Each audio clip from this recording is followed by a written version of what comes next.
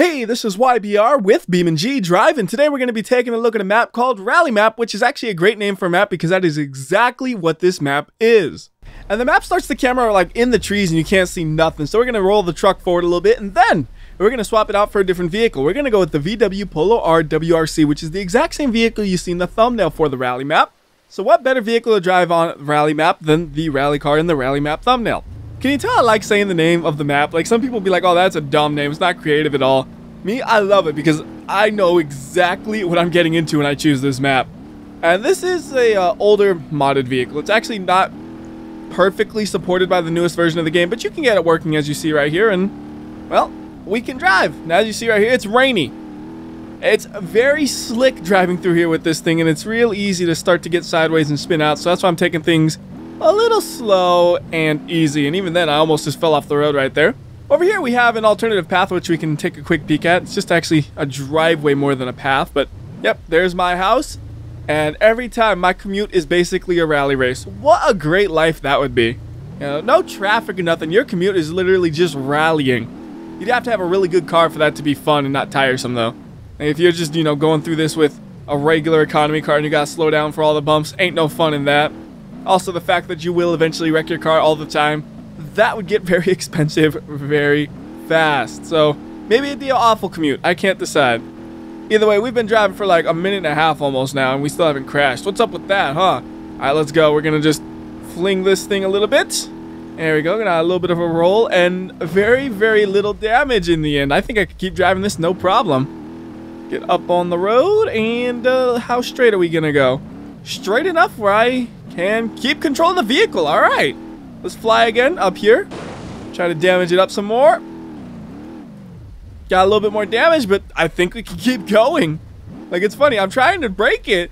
It don't want to break. It's like, nah, I got this, YBR. We are going to finish this race. So, all right, car. We're going to finish this race, except it is pulling hard to the left, which makes driving here really, really difficult because with the slipperiness and the pulling, it's hard to control it. So, you know what? Let's just dump it in the river. Oh, this car doesn't drown. I didn't realize that. Okay, let's get it out of the river. It will not die. It wants to finish the race. You stick it in the river. It's like, I don't drown. I am unkillable. I have an invisible snorkel that goes forever. Let's finish this thing. All right, car, we're going to finish it. We are going to get a complete... Oh, no. Oh, oh, it's fine. The car started to pull too hard to the right, and I couldn't counter steer good enough. Ah, uh, this, this is actually really rough to drive, to be completely honest. Like, I'm having to focus super duper hard. Oh, no. Oh, no. That wasn't on purpose. Every other crash, yeah, that was intentional. That one, not so much. And I think it's pulling a little bit more to the right because that's exactly what I needed. More pull to the right side, please. Thank you. We're going to finish, though. I mean, this car is going to make it. After all the work it's put in, it deserves to get to the finish. And up, there goes another body panel. But there's the finish, so it doesn't matter. Complete! And into the trees. Can't see nothing. Can we drive out of that? Yep. That was actually really impressive that the vehicle made it the whole way. I thought for sure it was a goner many times. Now we'll get more of a normal vehicle. We'll swap it out for an Ibishu Pessima. And obviously in this situation, the best version is the rally version. And now I can do the course in reverse, and I guarantee you we're going to use multiple vehicles here. Because I am going to drive this thing even more recklessly than before. Like, I'm going to ask for trouble with this. I see a bump right there. We're going to fly off that bump and hit the trees and really break it up. Actually, we might be able to drive a little bit still. We got front wheel drive basically going for us, and that's it. Unfortunately, it's a little bit too rough of a terrain to really get going. We can just crawl along at this miserable rate of speed, but I don't want to do that. So let's reset this car and then try to get back up on the road, which I'm pretty sure we should be able to do with ease. Yep, that wasn't bad. And we're not going to crash at every corner. It's kind of like an art. You got to wait for the right time and the right place. That is when you crash. The time is not now. We got to wait for the right opportunity, and when I see it, I take it. Nothing yet, nothing yet. There's a fence up there. That fence looks interesting. Let's hit the fence. Actually didn't do too much damage, but it did break the front left wheel axle, which means I can't really steer, so into the trees we go. Like, I'm just letting the car go wherever it wants because now both of my front wheel axles are broken. And uh, yeah, that's not doing no good, so we'll just get a fresh car again and then spin this around because it's pointed in the wrong direction. That would be embarrassing, wouldn't it? I didn't notice and I just kept driving. I'm like, oh wow, look guys, we're already back where we uh, started at the start of the video when actually we weren't. That'd be embarrassing. Like going a little too fast into a corner like that and almost flying off the road. Also embarrassing. Alright, now this is a good place to go. Over the river. Oh, what if we actually make it over that jump and land it? That would look awesome. I think we need a different car for that because this thing ain't gonna cut it.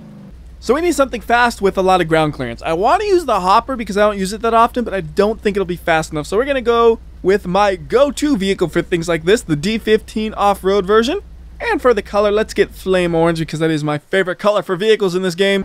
Especially when the environment's really green. Like, I like flame orange on Utah because everything there is kind of oranges. But here, flame orange is great.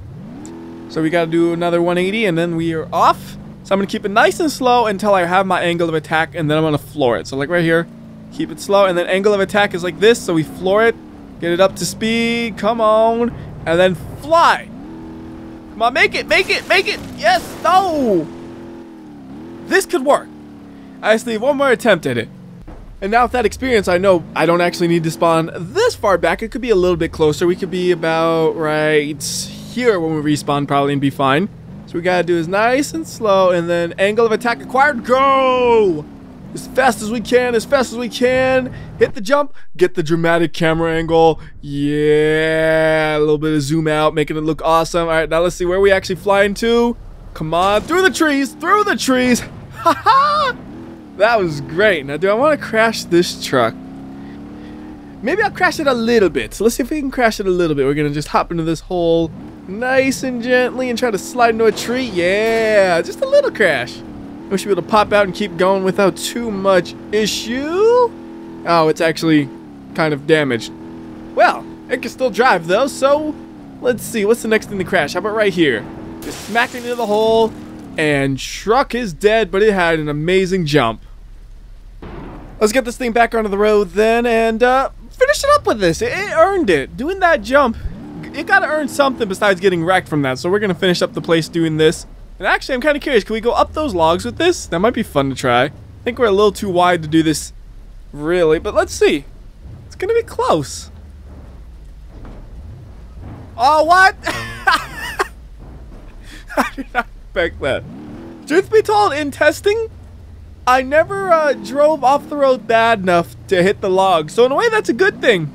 I just did not expect that outcome. I didn't expect to just cruise right through them like they weren't even there. I feel like I want to do some off-roading though. I see some rocks. Let's just try to crawl down those rocks real quickly. Because I'm so disappointed by that. Like, it's just not what I expected. Come on. Over the rocks.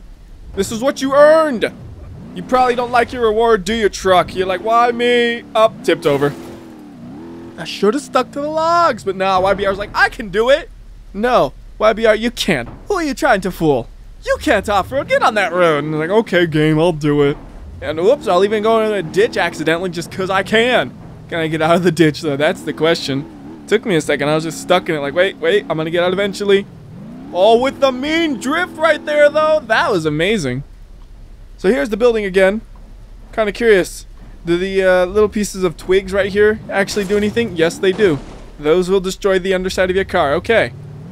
Let's get out of there. We'll test those logs as well, because why not? And nope, nope, we could drive right through them, but not the stumps. The stumps are solid objects. Got it.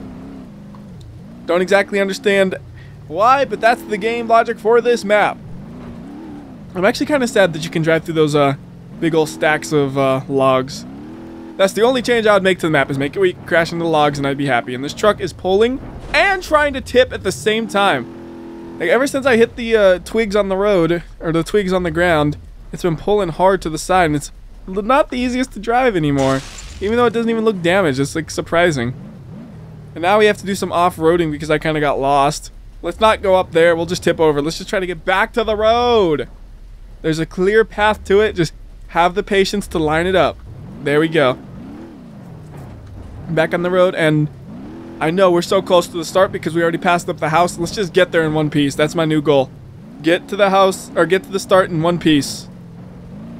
Nice and slow, nice and easy. Uh, it's funny, nice and slow to me is still 40 miles per hour through here. But it's like slow enough where I feel like I have full control over the vehicle, and that's it. As I almost tip over. That was getting ugly again. Up, oh, we're stuck in a tree. No, we're not. Yes, we are. Maybe. We're stuck in some trees. How's that? So that'll about do it for this map. I would give you guys an aerial view of the place, but there's so much fog you really can't see much, even if we kind of fly around. I mean, we could kind of do it like a drone view where we're above the trees a little bit, but I don't know if that's significantly different than what you see on the road to do the whole thing. But you know what? Let's let's do the drone view just a little bit as we fly through the air. I have a little buzzing sound, right? Let me do my little drone noises with my mouth, like as we fly along. Hey, someone needs to make a drone for BeamNG Drive. That'd be cool. Anyways, though, I think uh, that's good enough to give you guys an idea of what it would look like from above. So, until next time, SWIBR, I'll see ya.